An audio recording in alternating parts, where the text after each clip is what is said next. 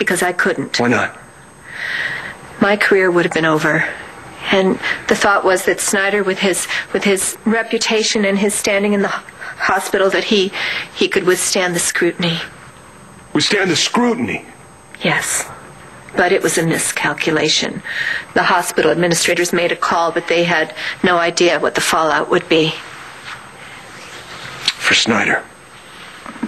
And once he'd signed the papers, it was it was too late. He lost his license. He left the hospital. I don't know. I I I've tried not to think about him. Yeah. Well, I have. I've thought about my father every day. Your mistake killed my father, and now I'm coming after you.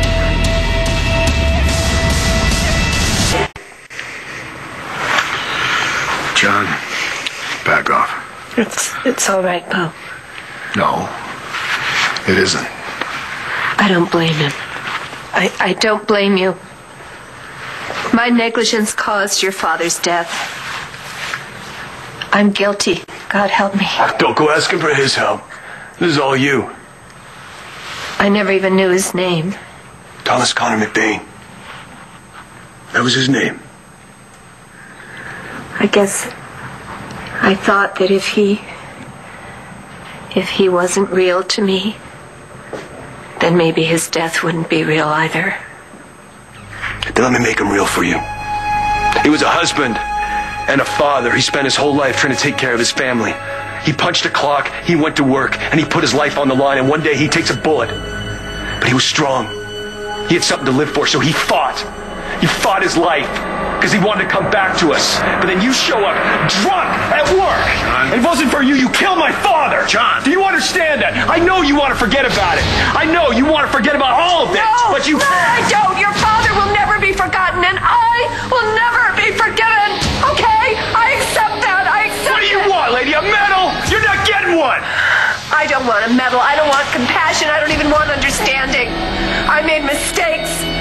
I made mistakes and I told lies to cover them up. Don't you understand? You're still telling lies. She's still telling lies, Bo. And why? To protect this guy? What is it? What is it, Paige? What do you have left to lose?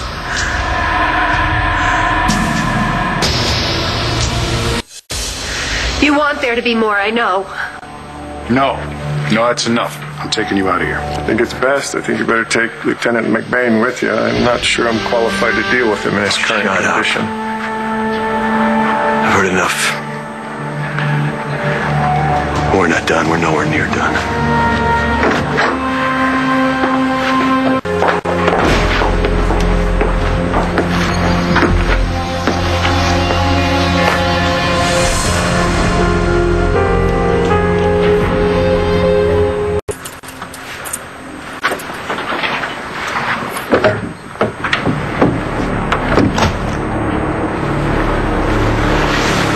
There.